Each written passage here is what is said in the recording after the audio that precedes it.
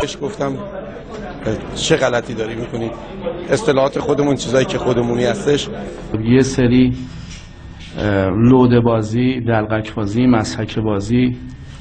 شما می‌بینید که بیشترین ساعات رادیو تلویزیون در اختیارشون قرار می‌گیره. از اون طرف هم میان کنار زمین و متاسفانه الفاظی از دهنشون در میاد که اصلا جا شایسته این مکان مقدس نیست جا باغ نیست که هر کی هر چی دلش بخواد در واقع بیان کنه. متاسفانه یا خوشبختانه من زبان انگلیسیم اصلا خوب نیست.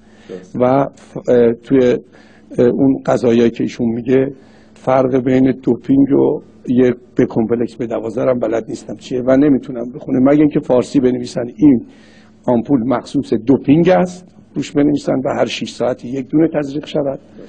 یا اینکه بنویسن این B complex B دوازده است و برای درد دماغ و گوش و دهن و بینی به درد می‌خورد و هر هشت ساعتی یک مرتبه تش فارسی بنویسن من می‌تونم سر در بیارم. ولی چون لاتین می‌نویسم و من انگلیسیم ضعیفه تو این قضیه دخالت نمی‌کنم. حالا ایشون می‌تونه مستنداتشو ارائه بده ما هم در خدمتش هستیم ژنریک هم جوری هم.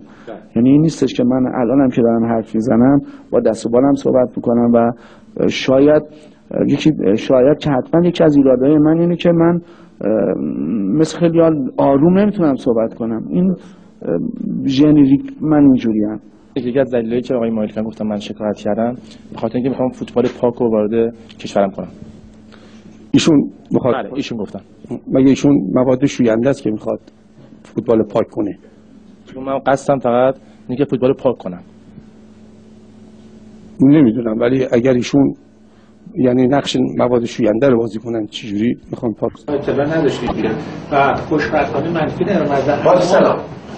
مخلص شما. آقا شما عمل دلخوری من عمل دلخورم ولی شما هم دیگه دست بدید. چرا؟ من چرا من دلخورم منم آدمی نیستم که الکی کسی رو ماچ کنم. و اینجا ماچ بوسه کنم برم پشت سر شما؟ شما؟